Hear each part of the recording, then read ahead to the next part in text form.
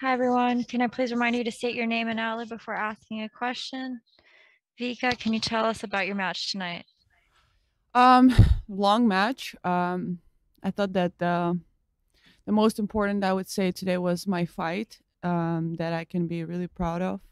Um, you know, analyzing game. Um, there was a lot of probably things that I could have maybe do a little bit better, but overall she was playing really uh, incredible in the first set, um, not giving me much to to do. So I was just trying to find opportunity, find actually create opportunity for me to to get back into the match, to take a little bit more control in the match, and uh, really fight for every ball.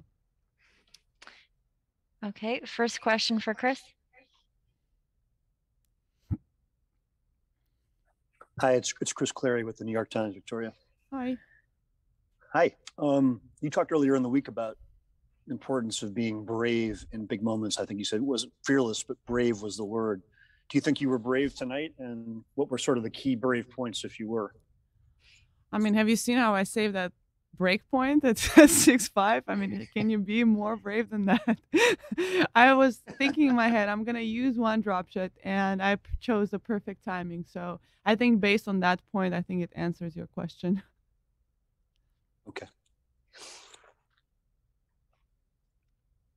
Next question for Courtney. Hi, Vika. Um, Hi. Congratulations, Courtney Nguyen, WT. Insider. Um, It struck me while I was out there hearing the crowd roar on your match point and how you were kind of taking it in. Wait, that- you here? Yeah, this is the Indian Wells press room. Oh, I mean, you could have just come come here and say hello in person. Hopefully soon. Theoretically, hopefully soon, Hopefully yes. soon. But, uh, but it struck me just hearing the adulation, you know, last fall, obviously in the Cincinnati and New York, just um, having those results and having them be fanless, uh, not getting fans to see what you were doing. Mhm. How, how did that feel tonight to, to hear the roar of the crowd, to get this result, to play such a kind of quintessentially Vika match in a lot of ways with respect to the fight? Um, And yeah, have that interaction with a crowd in Well, well, definitely. I, I wouldn't necessarily say that, you know, the the crowd is the only motivation when you play. As you said, like last year we were without fans, and I still was able to to bring that fight and that energy. But it does take a little bit extra. Uh, I think the crowd does help uh, to kind of get you fired up. Um, but uh, I'm I'm very grateful that we actually have fans now because it's it's been such a weird year. Somewhere you have fans, somewhere you don't have fans, somewhere there are more strict rules, somewhere there are uh, uh, less strict rules. So I'm just really looking forward how we can organize our house, um, you know, with with with the WTA, with ATP, so we can have a, a better uh, experience with fans hopefully next year um, and more open tournaments. That's what I'm really looking forward to. But the crowd tonight was great. This this whole week they've been super supportive, make me feel like really really special out there uh, with a lot of people behind me. So that was that was awesome. Next question for Chris Oddo. Hi, Vika. It's Chris Oddo with Tennis Now. Congrats on a great win. Thank you. You talked about your fight as being the main reason you were able to get that victory. And um, I think it's the first time you've come back from a set down this season. I'm just wondering how difficult is that to be down a set and a break against somebody who's playing as well as Jelena was to be able to stay positive in that situation? And um, did do you think you were able to do it tonight, maybe better than you have all season?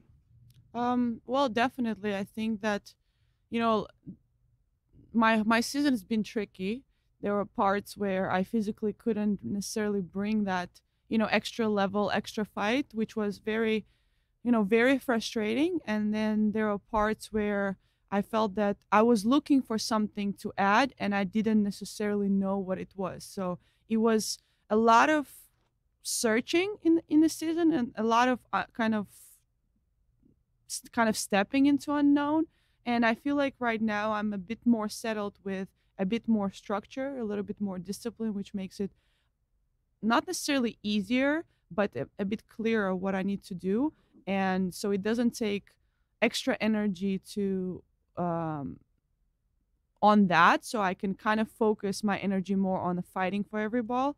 So I think that overall, um, I would say that it's it's a not a great season, but it was a lot of learning experience for me. Um, so I think that from that standpoint, I, I can be pretty positive with that. Next question for Craig Gabriel. Vika, it's Craig Gabriel here at Indian Wells. Um, if you look ahead, obviously at this point you don't know who you're going to play in the final, but if you could first preview tour uh, if you were to play Badosa and then separately, totally, you could preview um, about playing uh, Ons Jabeur. Well, I think both of the players um, fully deserve to play in that semifinal, and either one has worked, I think, really, really hard this season. You can see how much improvement both of those players um, done throughout the year, uh, and we are, I think, we are all, you know, Australian Open quarantine, the 14-day hard quarantine uh, group. Uh, but uh, I've never played against Paula. I've never really practiced against her, so that would be something, you know, uh, a new a new challenge for me to even understand her ball, her pace. Will be definitely a bit of adaptation there. And uh, if it's gonna be Ons, uh, she's my dream player to play in in the final. I'm such a huge fan of her. I think she's amazing. The the history that she's making in the part of the world where sports are not necessarily that accessible. I just can't wait to see how far she can go uh, further, and I'll have it will be my honor to play her in the final. Uh, and obviously, she's an incredible player. The improvement that she has done throughout, I wouldn't necessarily only talk this year, last couple years to really step up her game, improve her fitness level. Uh, I'm a huge fan. I mean, I'm I'm just fangirling here completely. Do, do you think there's any advantage for you with the final, considering that you've played two singles finals at this tournament before? Um, I don't I don't necessarily look at it that way because every match is about writing your uh, different story. None of the years are the same. Um, different day, different conditions can be. So I, I don't necessarily think of that. I think it's it's more about how you're able to handle the moment that is that is going to be there.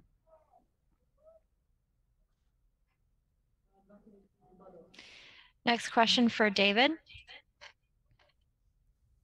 Hi, Vika. This is uh, David Avakian, Tennis Magazine. Mm. Uh, we were looking at the, the stats and, and we saw that you hit 15 winners. She hit 45. Uh-huh. Uh, you won. Um, is there any other player against who this is possible? Is the question, I guess.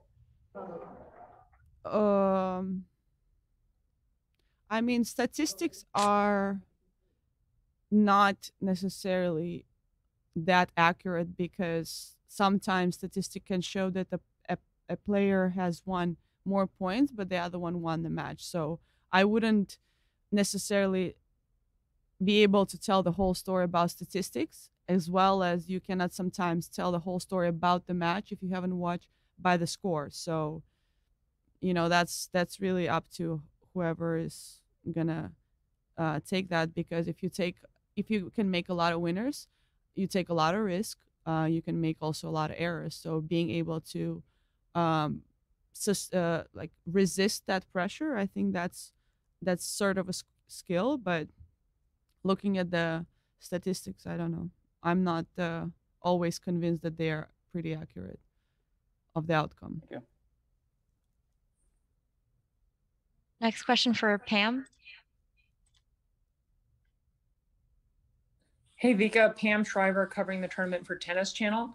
Just Mhm. thinking about um, some hard court finals you've played in the past, your two Australian Open finals that you won in straight sets, your two previous finals here in the last nine years that you won in straight sets. What's the mindset been like to win those big championships in straight sets, and how does that compare to your mindset this year? Well, I, would say every tournament is very different. When you play your first Grand Slam uh, final, it's completely different than when you're defending it, even though it's the same occasion. But the way you approach, there's different pressure, there's different uh, emotions as well. So um, this match, um, this match's finals here were also different opponents. So it's you know I think it's as I said before, it's always a, a different story. And now with with tennis being a bit unpredictable because the depth of women's game is so uh, so so deep.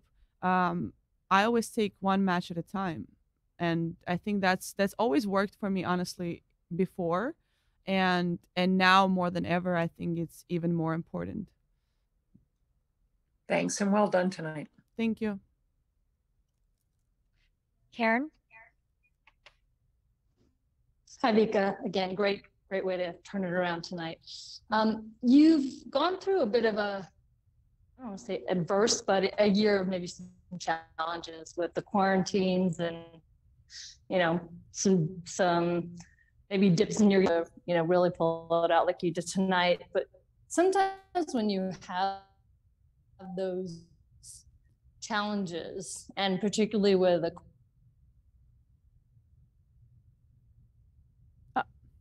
quarantine period where probably you had to be it where you infection out of that experience you think that are helping you now the quarantine experience definitely is not helping in no way there is no possible way that quarantine yeah. in any way has helped me it only okay. was really damaging there's no other okay. way to put it it was uh, damaging mentally uh, the end of it it was damaging physically the most for me um, I've never stopped for two two weeks not doing anything, yeah. being off the air. So in no way that was that was that was helpful. Um, I will say that everything after that, how I approached was a learning experience. You know, it was okay, mm-hmm. am I gonna dwell on that or am i going to try to figure out and it took a t- it took time it took a lot of patience um, you know i felt at some point i was really discouraged uh, but mm-hmm. i'm i'm type of person who will never give up no matter the situation is so um, i always knew I, i'm gonna you know keep fighting but that sometimes you know it just it doesn't feel good it doesn't you're not motivated to keep searching but it's it's up to you either you're gonna you know define that moment is gonna define you or you're gonna take that into your own hands so mm. from that standpoint i think i've been pretty consistent you know climbing myself out of challenging situations and uh, and moving forward thank you good luck thank you and last question for courtney Hey, Vika, you mentioned, um, you know, obviously the physical struggles that you had this year, and there are also instances where, um, you know, you did you didn't close out matches that you probably thought you should have, uh, mm-hmm. things like that, mm-hmm. close out leads. And tonight, it felt like both of those things kind of flipped. I mean, you, it was an incredibly physical match from you. You said out there you had to run like a rabbit, and then obviously Ostapenko started coming back in that last one. You saved mm-hmm. three break points in the final game to close it out does that make this win even more satisfying that you know almost all the things that kind of derailed you not all the things but certain things that derailed you this year um that yeah you flipped them on on on on their head tonight to to make a pretty darn big final i think that the good part and the dangerous part is to judge that but because i have won um like moving forward and just base that on the result. And i think the the more important for me really today is to to assess like have i done the things that i wanted to do and did they help me to win? So as long as i can kind of analyze that and and the reason why i couldn't maybe close those matches is because i was focusing on maybe winning rather than what i have to do. And i think that that change is something that is really important. So winning or not winning is sometimes a very um, you know like high or low emotion. So i try to kind of focus more on what i can actually do. And i think that works much better. It's it's it makes me play makes me feel much more consistent. Thanks everyone. Thank you